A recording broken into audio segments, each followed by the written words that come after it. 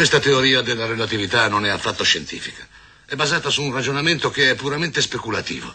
Può anche essere interessante sul piano filosofico, ma dal punto di vista scientifico non ha alcun valore. Io in realtà non ci ho capito molto. Eppure come principio non ha niente di così complicato. Non sono della sua opinione, signor Planck. A mio avviso è geniale.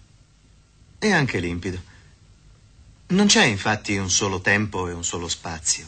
Esiste al contrario una moltitudine di tempi e di spazi, signori.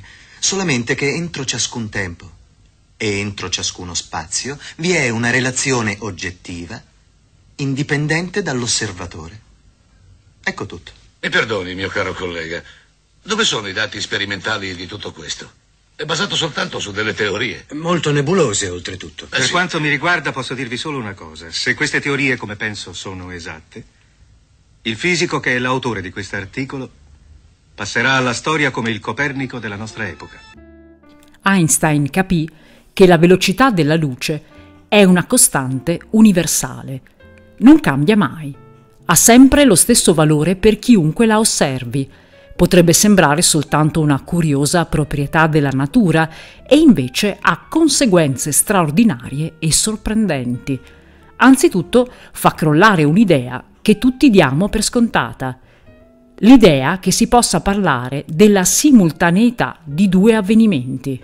Siamo abituati a considerare simultanei, cioè contemporanei, due avvenimenti che si verificano nello stesso istante di tempo. Sembra una definizione chiarissima, precisa e senza problemi. Ma guardiamo che cosa succede su questo treno. Al centro del vagone c'è una lampada. Quando si accende, invia luce in avanti e all'indietro, verso due schermi posti all'estremità del vagone. I due schermi si trovano alla stessa distanza dalla lampada, quindi la luce arriva ai due schermi nello stesso istante.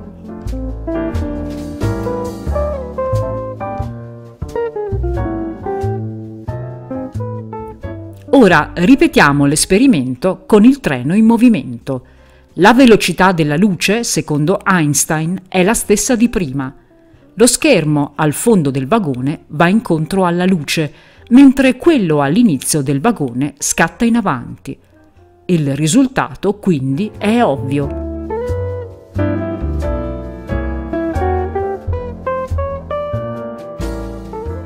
La luce raggiunge prima lo schermo di destra, poi quello di sinistra. Ma questo che cosa significa? Significa che i due eventi che ci sembravano simultanei quando il treno era fermo, adesso non lo sono più. La luce è la stessa, il vagone è lo stesso, ma gli schermi vengono raggiunti in istanti diversi, soltanto perché il treno è in movimento. E che cosa vede chi sta sul treno? Dal punto di vista dei passeggeri che guardano fuori dal finestrino, è il terreno che si muove, mentre il treno appare fermo. Chi sta sul treno quindi vedrà arrivare la luce ai due schermi nello stesso istante. Insomma, gli stessi due eventi visti dal treno sono simultanei, visti da terra non lo sono. Per sapere se due avvenimenti sono contemporanei, bisogna prima specificare per chi. Se sono simultanei per un osservatore fermo, non lo saranno per uno in movimento e viceversa. Tutto ciò non accadrebbe se la luce variasse la sua velocità adeguandosi a quella degli osservatori, come previsto dalla relatività di Galileo. Invece la velocità della luce non cambia mai.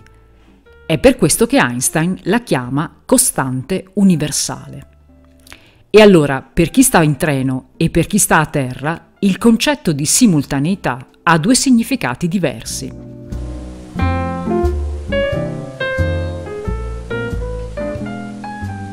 Perché ci sembra tanto strana l'idea che sia impossibile dire in termini assoluti se due eventi sono simultanei oppure no? La ragione sta nel fatto che noi, come Newton e come tutti prima di Einstein, siamo abituati a pensare che il tempo sia qualcosa di assoluto, qualcosa che scorre per conto proprio nell'universo, indipendentemente da noi, da quello che facciamo, da come ci muoviamo. Secondo Einstein invece non è così.